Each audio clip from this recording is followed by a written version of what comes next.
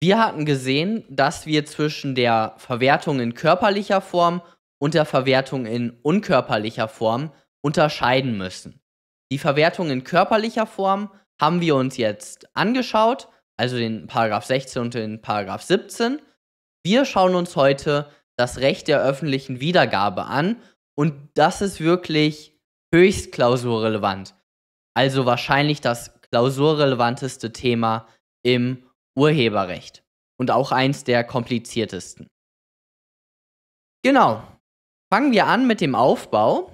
Wie prüft man die öffentliche Wiedergabe? In zwei Schritten. Man prüft, ob eine Wiedergabe vorliegt und man prüft, ob diese öffentlich ist. So, bei der Öffentlichkeit, die müsst ihr wiederum in zwei Schritte unterteilen. Einmal das quantitative Element und einmal das qualitative Element. Okay. Kommen wir zu der ersten Voraussetzung der Wiedergabe. Hier müsst ihr die Definition können. Das Werk wird wiedergegeben, wenn es der Öffentlichkeit direkt oder indirekt zugänglich gemacht wird. Das hier ist ein sehr, sehr weiter Begriff. Beispielsweise der Upload eines Bildes auf, auf meiner Webseite. Das wäre eine öffentliche Wiedergabe oder das wäre eine Wiedergabehandlung. Aber auch die Linksetzung ist eine Wiedergabe.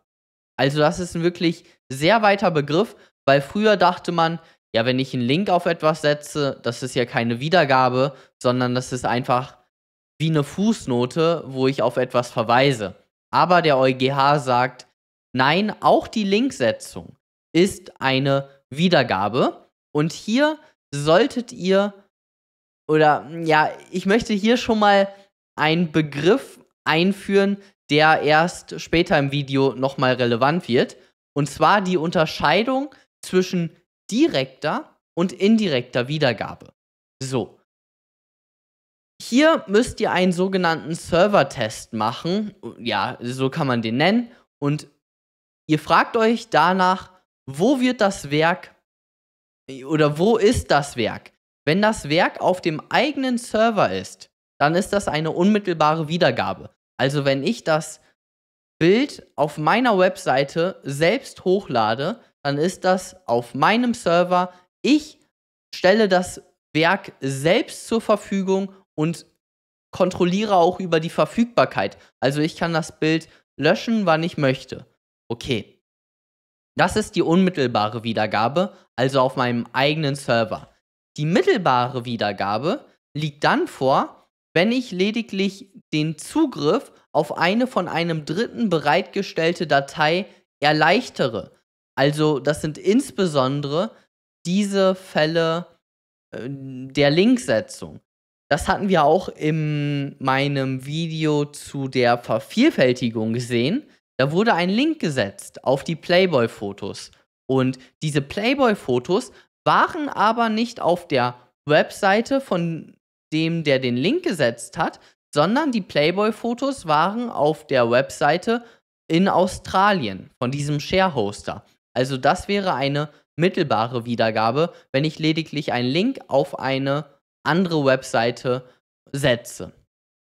Okay, damit komme ich jetzt zu den Formen der Wiedergabe. Und hier möchte ich kurz erwähnen, dass ich alle folgenden Punkte aus dem Skript von Professor Oli habe. Und wichtig ist es mir hier zu betonen, das sieht jetzt wichtig aus, was ich jetzt im Folgenden sage. Das ist aber nicht wichtig, weil das Recht der öffentlichen Wiedergabe basiert auf Artikel 3 der Infosoc-Richtlinie. Und diese kennt gar nicht diese Unterscheidung, die wir jetzt hier gleich sehen werden. Also, Paragraph 19 Absatz 1 ist das Recht, ein Sprachwerk durch persönliche Darbietung öffentlich vorzutragen.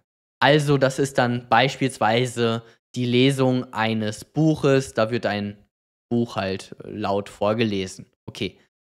Aufführungsrecht, das Recht, ein Musikwerk zu spielen oder ein Theaterstück aufzuführen. Okay. Vorführungsrecht, das Recht, bestimmte Werke mittels technischer Mittel vorzuführen. Okay. 19a, das hier ist wirklich mit Abstand die relevanteste Form der Wiedergabe. Hier wird das Werk durch elektronische Mittel zugänglich gemacht, sodass es zu beliebiger Zeit abrufbar ist.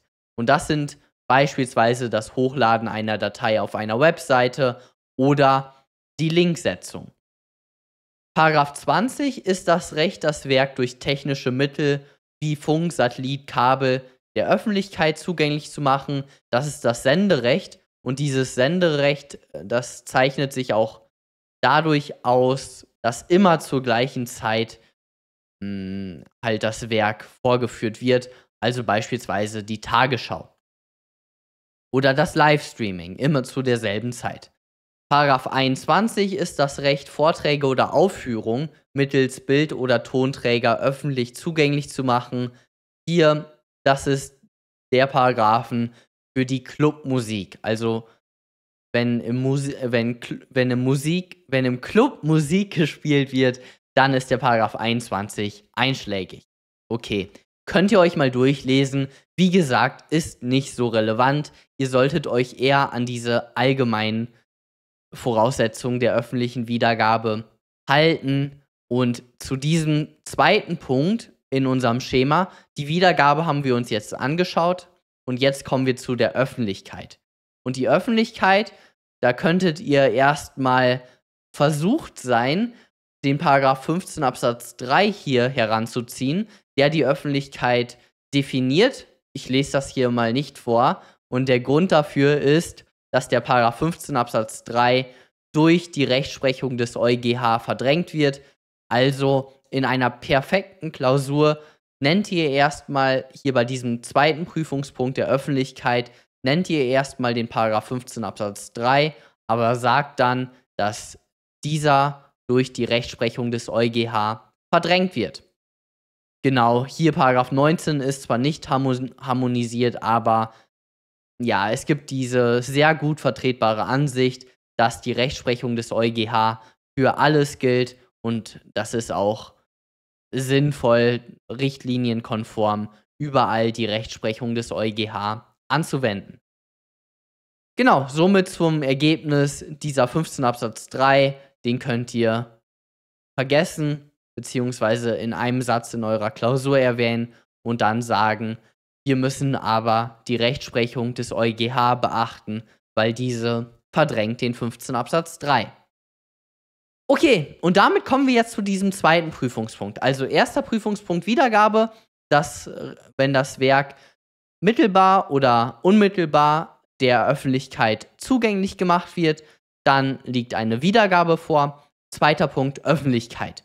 So, und wir kommen zu diesem ersten Unterpunkt bei der Öffentlichkeit, zu dem quantitativen Element. Und hier müssen recht viele Personen gegeben sein und der Personenkreis darf nicht abgrenzbar sein. Recht viele Personen, wenn in einer Zahnarztpraxis Musik gespielt wird, dann sind das wohl nicht recht viele Personen, weil da warten zwei, drei Leute warten in der Zahnarztpraxis. Das reicht nicht aus. Ihr seht, dieser Begriff der recht vielen Personen, das ist, da gibt es keine, keine bestimmte Zahl. Das ist halt ein schwammiger Begriff. Ja, in der Klausur ist das eh unproblematisch. Ja, Punkt. Zweiter Punkt, Weiterleitung an wenige Satellitenanbieter. Das hat der EuGH entschieden. Keine Ahnung, da waren vielleicht vier, fünf Satellitenanbieter, an die das weitergeleitet wurde. Das hat auch nicht ausgereicht. Okay. Ist auch nicht so wichtig. Zweiter Punkt ist ein bisschen wichtiger. Der nicht abgegrenzte Personenkreis. Weiterleitung eines Fernsehsignals an eine Wohnanlage mit 343 Einheiten ist nicht öffentlich, weil der Personenkreis abgegrenzt ist. Also man hat hier diese 343 Mieter, die auch lange da drin sind. Also das ist ja ein Mietvertrag. Man wechselt ja jetzt nicht alle sechs Monate die Wohnung. Deswegen ist hier der Personenkreis abgrenzbar und daher ist hier wohl die, das quantitative Element der Öffentlichkeit zu verneinen. So zumindest der BGH.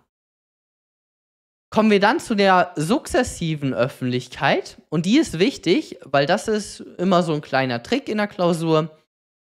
Sukzessive Öffentlichkeit ist vom EuGH anerkannt und die liegt dann vor, wenn im Laufe der Zeit ein unbegrenzter Personenkreis Zugriff hat, dann ist die Öffentlichkeit doch zu bejahen, sage ich mal.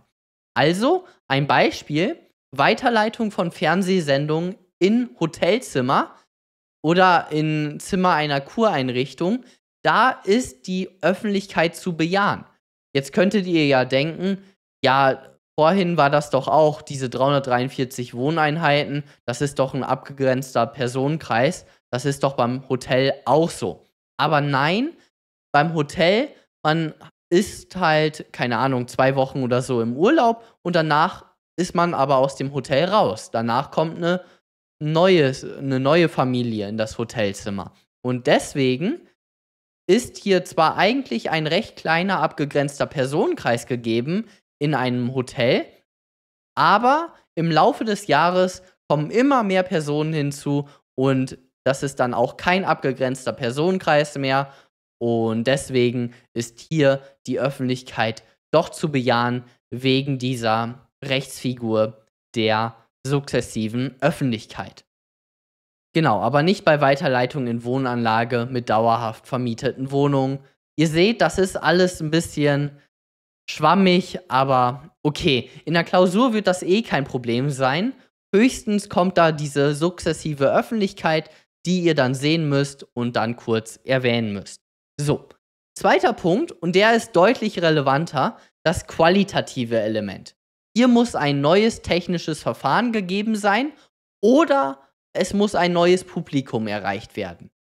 Schauen wir uns das neue technische Verfahren an.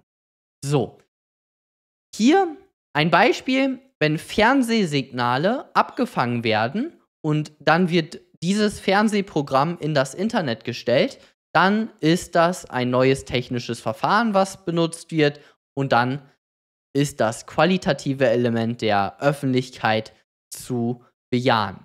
Okay. Fotograf F lädt sein Bild von der Stadt Berlin auf einer Reisewebseite hoch. Dieses Bild verlinkt der Blogger B auf seinem Blog.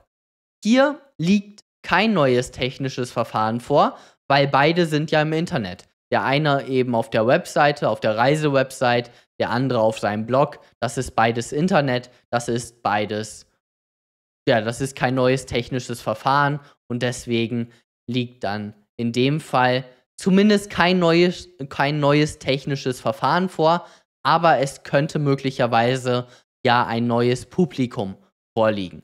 Das muss man sich in diesem Schritt jetzt anschauen. Das neue Publikum. So, und dieses neue Publikum, hier werde ich den Großteil der, des Videos drauf verbringen. Und das ist wirklich wichtig. Hier müsst ihr einige Fallkonstellationen kennen. Und das habe ich auch, ich sage es mal, wirklich gut hier jetzt aufbereitet. Äh, muss ich mich mal selbst loben. Und genau, schauen wir uns das an. Ein neues Publikum liegt dann vor, wenn ein Publikum erfasst wird, das der Urheber ursprünglich nicht hatte erfassen wollen. Okay. Spiegel Online lädt einen Artikel von dem Journalisten J hoch. Jeder kann darauf zugreifen. Der Blogger B setzt einen Link auf, seinen, auf seinem Blog zu diesem Artikel. Hier liegt kein neues Publikum vor, weil jeder kann ja auf, diesem, auf diesen Artikel von Spiegel Online zugreifen.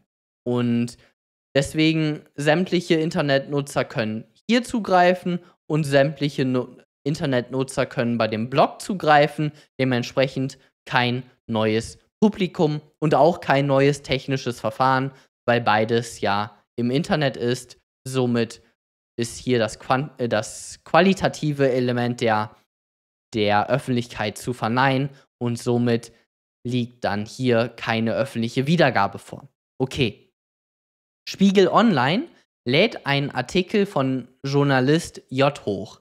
Dieser befindet sich hinter einer Paywall, also man muss zahlen, um das dann zu sehen. Blogger B setzt einen Link auf eine Webseite, die die Paywall umgeht. hier ist ein neues Publikum zu bejahen. Ihr seht den Unterschied, weil in, diesem, in dieser Abwandlung, da gab es eine Paywall und da wollte der Urheber nicht sämtliche Internetnutzer erfassen, sondern eben nur Abonnenten von Spiegel Online. Und deswegen mit diesem Link auf diese Webseite kommt ein neues Publikum dazu, nämlich sämtliche Internetnutzer. Das ist mehr als Abonnenten de, der, des Spiegel Onlines und somit ist das hier zu bejahen. Letzter Fall, wer E-Books herausgibt und verkauft, rechnet nicht damit, dass sie anschließend auf einem virtuellen Marktplatz für gebrauchte E-Books verfügbar gemacht werden. Somit ist bei den E-Books dann auf diesem Marktplatz, wenn die dort, wenn dort die gebrauchten E-Books angeboten werden, ist das eine öffentliche Wiedergabe, weil ein neues Publikum erreicht wird. So der EuGH. Gut, und jetzt möchte ich euch nicht erschlagen, aber jetzt kommen wir zu einer wirklich tollen Übersicht von dem Professor Quintais, oh ja, irgendwie so. Das habe ich ja auch aus der Vorlesung von dem Professor Leistner. So, schauen wir uns das an. Verlinkung zu einem online wiedergegebenen Werk. Das ist eine Wiedergabehandlung. Haben wir gesehen. Das ist eine mittelbare Wiedergabehandlung. So, jetzt stellt sich die Frage, wird eine neue Öffentlichkeit erreicht? Zunächst einmal müsst ihr dann hier zwischen einem Link zu rechtmäßigen Inhalten und einem Link zu unrechtmäßigen Inhalten unterscheiden. Wir hatten gerade die Fälle mit, mit den Spiegel Online-Artikeln. Spiegel Online-Artikel sind ganz klar rechtmäßige Inhalte, ein Link zu unrechtmäßigen Inhalten wäre ein Link zu einer Webseite, wo es den neuesten Kinofilm gibt, beispielsweise. Okay. Wir waren jetzt aber hier bei Spiegel Online. Wir schauen uns dazu auch später nochmal ein Beispiel an. Okay, wir waren jetzt aber bei Spiegel Online. Das ist ein Link zu einem rechtmäßigen Inhalt. Jetzt müssen wir uns fragen, wird ein neues Publikum erreicht? Wenn dieser rechtmäßige Inhalt, dieser Artikel, ein frei zugänglicher Inhalt war, also keine Paywall oder keine Zugangsbeschränkung, dann wird, wenn man einen Link darauf setzt, kein neues Publikum erreicht. Das war ja dieser erste Fall, den wir uns vorhin angeschaut hatten.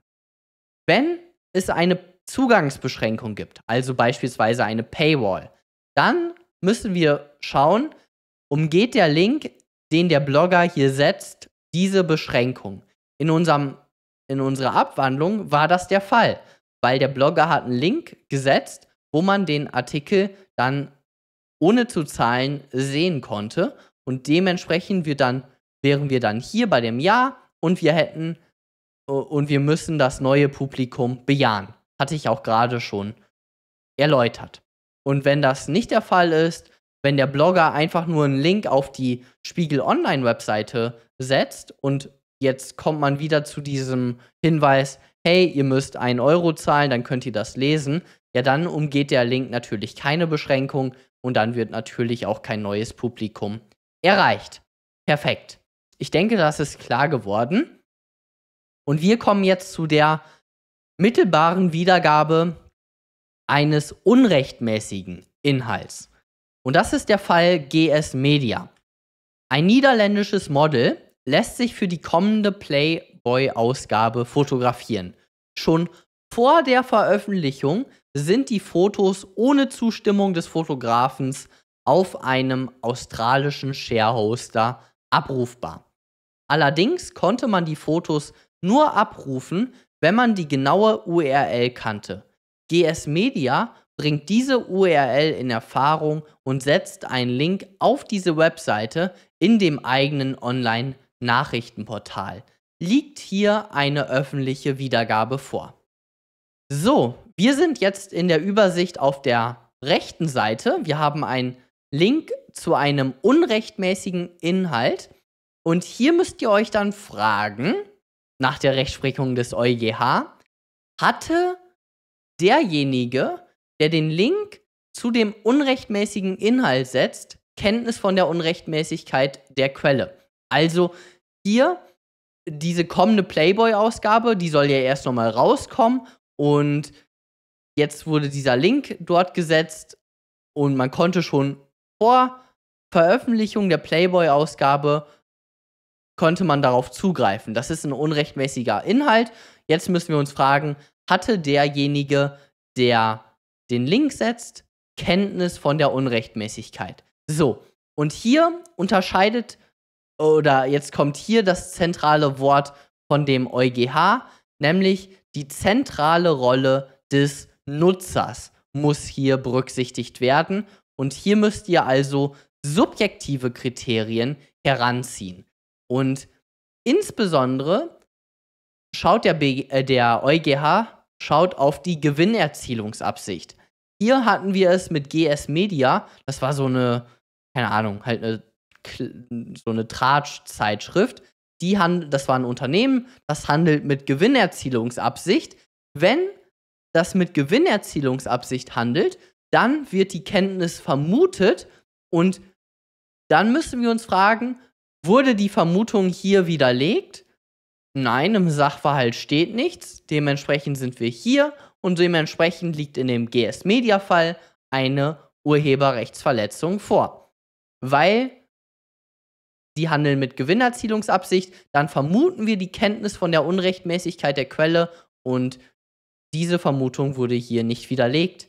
Somit ist die Urheberrechtsverletzung zu bejahen oder die neue Öffentlichkeit zu bejahen und damit der Eingriff in, die, in das Recht der öffentlichen Wiedergabe. Wenn wir aber beispielsweise eine Privatperson hätten und diese Privatperson setzt jetzt diesen Link auf diese Playboy-Webseite äh, auf diese, ja, auf diese, auf den, auf die, auf den Server des australischen Sharehosters, wo man dann die Playboy-Ausgabe sehen kann. Dann wären wir hier, weil eine Privatperson handelt, ja, ohne Gewinnerzielungsabsicht, zumindest wenn nichts anderes im Sachverhalt steht, dann wird die Kenntnis nicht vermutet und dann kommt ihr wieder zu diesem Notice and Takedown Verfahren, was wir auch schon im Lauterkeitsrecht kennen, was wir auch schon im Markenrecht kennen und so weiter. Auch im Patentrecht gibt es auch sowas ähnliches. Also da muss man fragen, wurde der Linksetzer in Kenntnis gesetzt? Also wurde die Privatperson von der, von dem Playboy-Unternehmen in Kenntnis gesetzt, hey, dieser Link, das ist eine Urheberrechtsverletzung, äh, äh mach den Link weg wenn er in Kenntnis gesetzt wurde und den Link dann nicht entfernt hat, dann sind wir bei einer Urheberrechtsverletzung. Wenn er nicht in Kenntnis gesetzt wurde, dann sind wir automatisch bei keiner Urheberrechtsverletzung. Und wenn er in Kenntnis gesetzt wurde und den Link dann aber nach Inkenntnissetzung entfernt hat, dann sind wir auch bei keiner Urheberrechtsverletzung. Perfekt. Also das hier ist die Übersicht. Die solltet ihr euch einprägen ich finde das tatsächlich, ich war in einer Vorlesung, hatte mir das angehört von dem Professor Leistner und der hat das wirklich super gemacht und dann habe ich das verstanden und jetzt bin ich da, damit eigentlich gut gewappnet für die Klausur in ein, zwei Monaten. Okay. Komme ich zu, zu dem letzten Fall. Die Gymnasiastin G hält im Geografieunterricht ein Referat über Spanien, das sie visuell durch eine PowerPoint-Präsentation unterstützt. Im Internet findet sie ein ihrer Ansicht nach sehr gelungenes Foto der andalusischen Stadt Cordoba. Es befindet sich auf einer Reisewebseite, auf der es mit Zustimmung des F, der das Foto, der das Foto aufgenommen hat, ohne Zugriffssperre angesehen werden kann. G, also, also die Schülerin, kopiert das Foto und stellt es in ihre eigene Präsentation ein. Das Referat wird ein großer Erfolg. Die stolze Lehrerin stellt die Präsentation der G als Datei auf der Webseite der Schule ein, wo sie allgemein abrufbar ist. F wird auf diese PowerPoint-Präsentation aufmerksam und ärgert sich darüber, dass er kein Honorar bekommen hat. wird hier in das Recht der öffentlichen Wiedergabe eingegriffen. Schauen wir uns das mal an. Okay, wir haben ein Werk, ein Lichtbildwerk. Aktivlegitimation Fotograf F ist Schöpfer, Paragraph 7. Und wir kommen zum Eingriff. Hier Paragraph 19a, weil wir haben ja eine Wiedergabe im Internet. So, war das hier auch öffentlich? Wir kommen zum ersten Schritt, quantitatives Element. Hier wird eine recht große Zahl an Personen mh, hm, erreicht, weil das ist ja im Internet, da kann jeder drauf, draufklicken und das ist natürlich auch ein nicht abgrenzbarer Personenkreis, weil Internet, genau. B, qualitatives Element. Wird hier ein neues technisches Verfahren angewandt? Nein, beides ist im Internet. Das eine auf der Reisewebseite, das andere auf der Webseite der Schule. Neues Publikum. Wird hier ein neues Publikum erreicht? Und hier müssen wir eigentlich sagen, nein, weil dieses Bild von dem F auf der Reisewebseite, das war ja auch hier ohne Zugriffssperre. Und deswegen müssten wir doch eigentlich sagen, beides ist frei verfügbar im Internet, somit wird kein neues Publikum erreicht und somit liegt hier keine, kein Eingriff in das Recht der öffentlichen Wiedergabe vor. So, und hier gibt es jetzt den Clou, den ich ganz zu Anfang des Videos gesagt habe, oder zumindest angedeutet habe. Hier haben wir eine unmittelbare Wiedergabe. Das Bild, das Foto wird ja auf dem eigenen Server, auf der eigenen Webseite der Schule hochgeladen. Hier wird nicht auf die Webseite des, auf diese Reisewebseite von dem Fotografen verlinkt, sondern die Schule lädt das selbst hoch. Und deswegen, Servertest, haben wir eine unmittelbare Wiedergabe. Und bei einer unmittelbaren Wiedergabe müssen wir hier dieses Kriterium Neu des neuen Publikums etwas anpassen.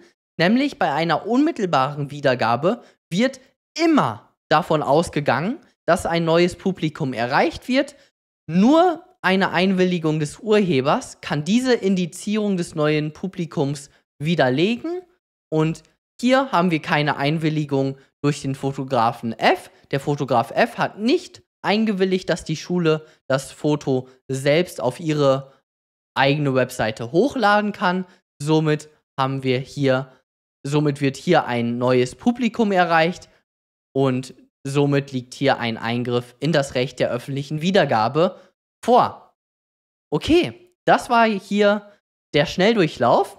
Hier seht ihr das auch nochmal in dem Aufsatz von Professor Oli. Das vorliegende Urteil, das war eben dieses Cordoba-Urteil, macht deutlich, dass bei unmittelbaren Eingriffshandlungen in aller Regel ein neues Publikum erreicht wird und dass der Nutzer durch seine Handlung automatisch eine zentrale Rolle einnimmt, sodass eine individuelle Beurteilung anhand eines beweglichen Systems von Kriterien auf der Tatbestandsebene entbehrlich ist. Hiermit meint der Professor Oli mit diesem beweglichen System dieses System, was wir hier hatten, mit diesen subjektiven Kriterien und der zentralen Rolle des Nutzers, mit der Gewinnerzielungsabsicht, äh, ja, und so weiter. Genau. Und damit sagt dann der Professor Oli, der unmittelbare Eingriff indiziert also die Urheberrechtsverletzung. Mittelbare Eingriffe stellen hingegen nur dann eine Rechtsverletzung dar, wenn subjektive Merkmale vorliegen oder wenn der Handelnde eine Verkehrspflicht verletzt hat. Okay, perfekt. Hier seht ihr dann die Kontrollfragen und das war's dann von dem heutigen Video. Ich verlinke hier nochmal auf das sehr klausurrelevante Thema der Vervielfältigung und dann sehen wir uns beim nächsten Mal. Ihr könnt den Kanal gerne abonnieren. Und dann verabschiede ich mich. Bis dann.